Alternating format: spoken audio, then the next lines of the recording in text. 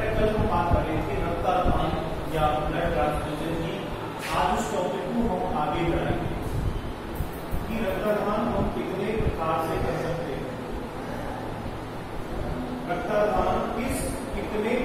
से किया जा सकता है? ऐसे कौन कौन से तरीके हैं जिसके द्वारा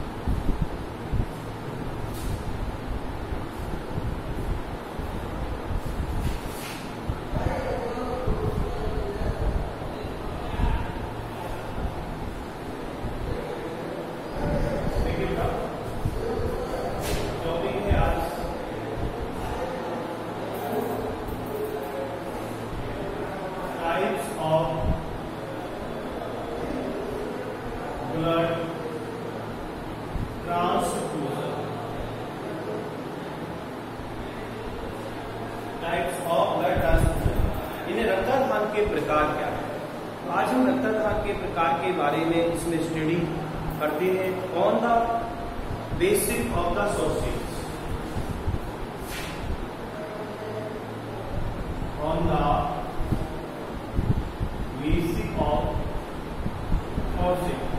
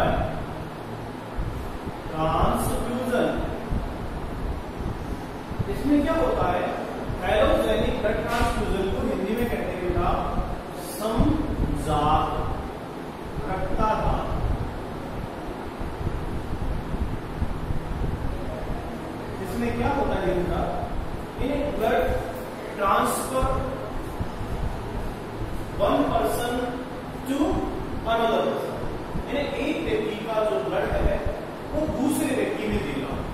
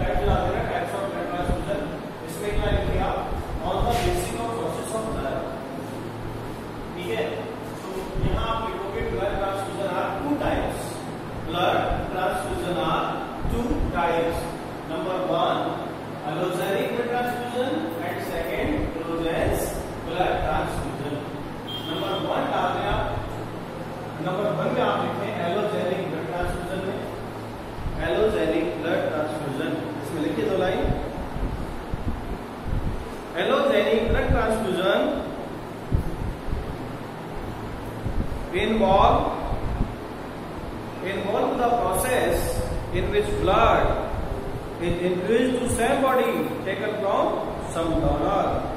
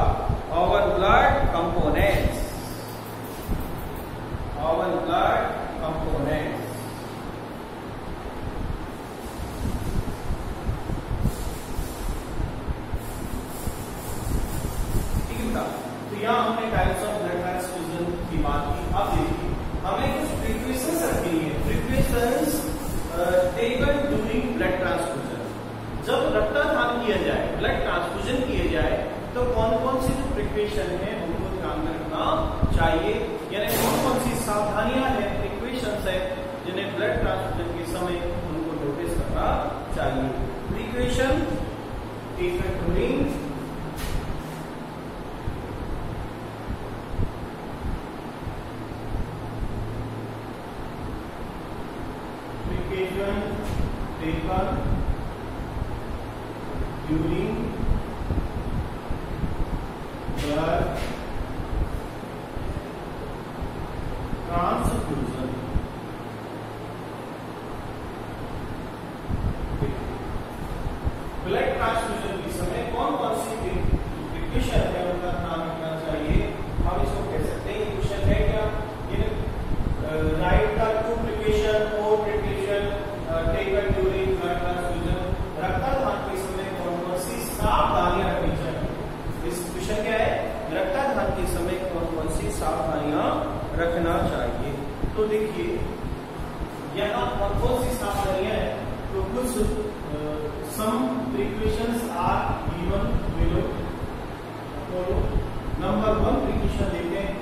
सबसे पहले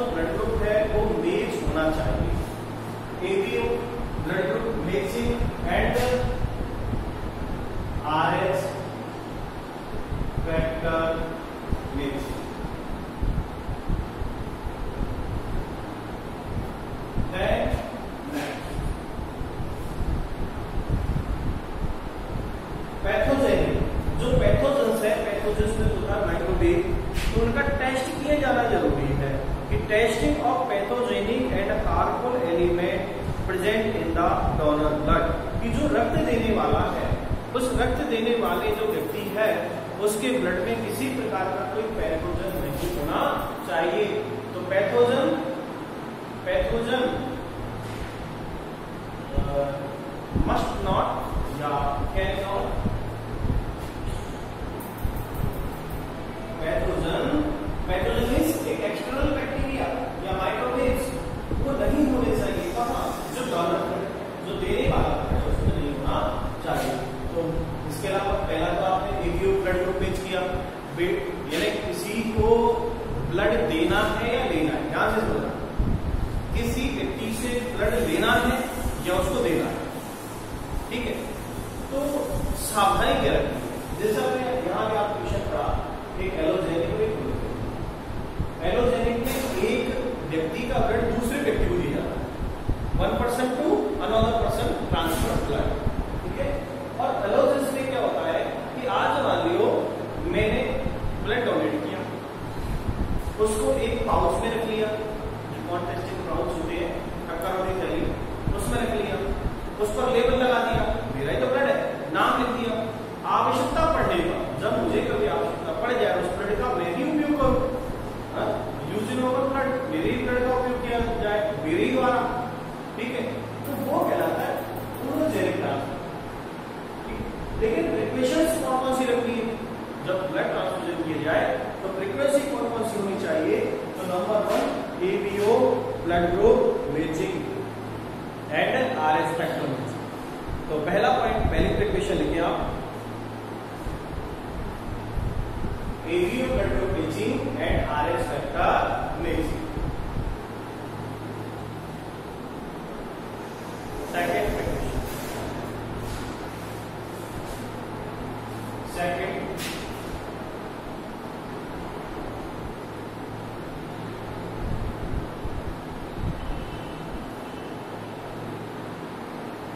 Testing of pathogen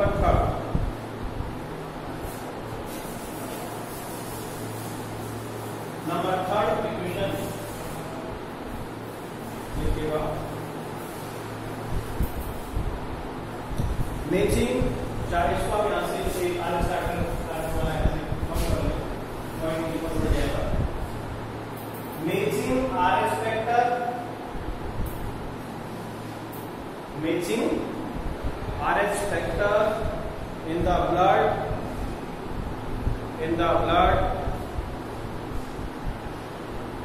Of both donor and recipient. जो रक्त देने वाला है और लेने वाला है, उन दोनों में आर एस फैक्टर को मैच करना है। Matching of R S factor in the blood both donor and the recipient donor means देने वाला रेसिपिएंट यानी लेने वाला। देन नेक्स्ट नेक्स्ट क्वेश्चन अब जिसको ब्रिड कराया जाएगा ठीक है? तो ब्रिड कहाँ से लाएँगे? या तो ब्रिड बैंक से जिनको हम कहते हैं रेफ्रिजरेटेड वेयर हाउस तो नेक्स्ट क्वेश्चन है refrigerated warehouse refrigerated warehouse of collected blood of collected blood after completing after completing the derivate process the derivate process में जो ब्लड कलेक्ट है वेयर हाउस में उस ब्लड को वहाँ से निकालने के बाद उसको पूरी तरह उसकी जाँच की जानी चाहिए, उसके बाद पेशेंट को चढ़ाना चाहिए। नेक्स्ट प्रिपरेशन लिखे आप। Next number five the prevent the prevent quantity quanta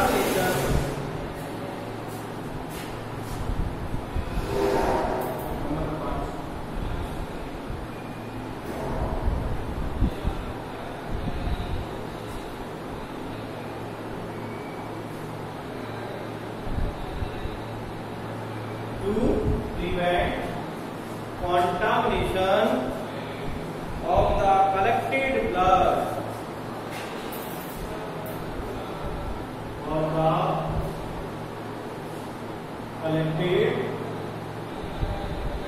blood in any condition.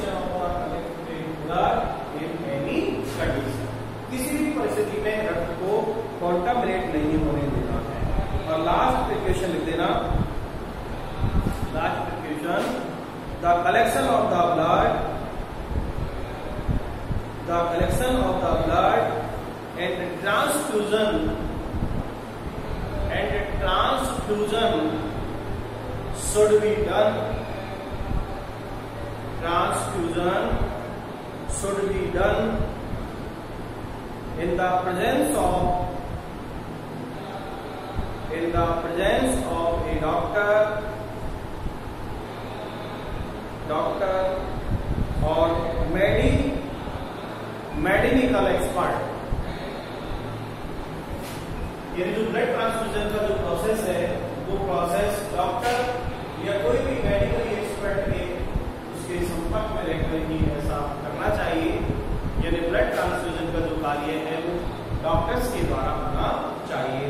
तो the collection of the blood and transfusion should be चाहे ब्लड का कलेक्शन करना हो चाहे ब्लड को ट्रांसफ़र करना हो तो should be done in the presence of a doctor doctor की उपस्थिति में ही ब्लड का कलेक्शन और ब्लड का transfer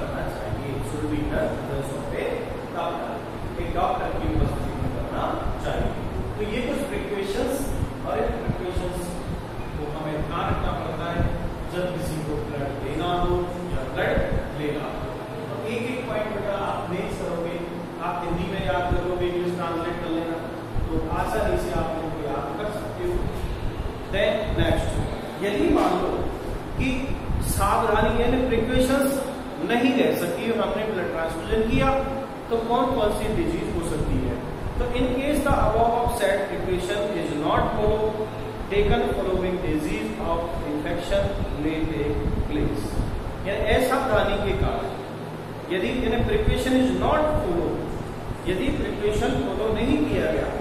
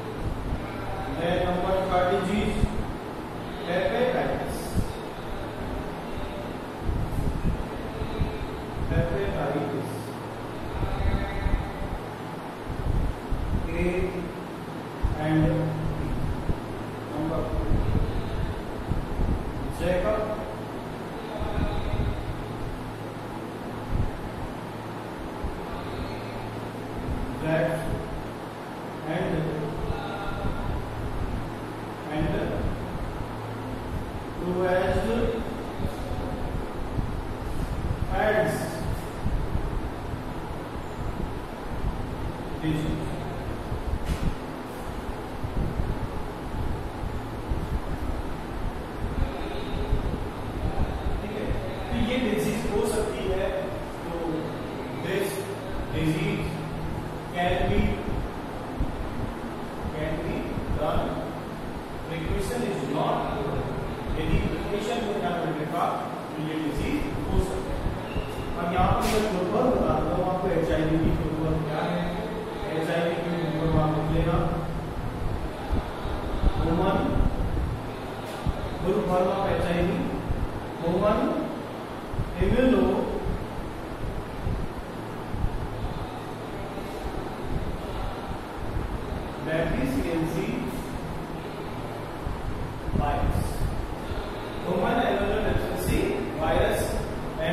HCl will form, HCl will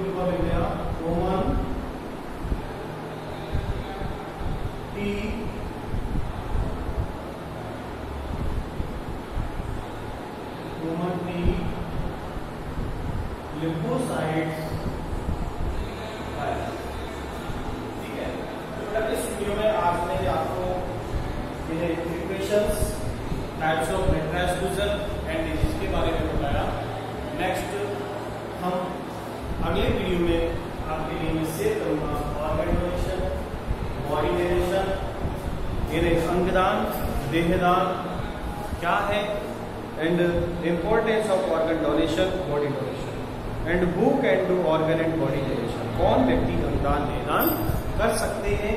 तो उस वीडियो के बारे में मैं आपसे कल बातें करूँगा आज के वीडियो में इतना ही। और आप इसी तरह मैंने जो समझ में नहीं कोशिश करूँगा कि आप समझ सकें, उसको पढ़ सकें।